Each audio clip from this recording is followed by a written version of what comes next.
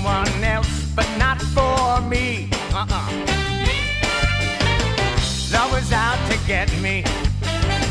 That's the way it seems. Disappointment haunted all my dreams. And then I saw her face. I saw her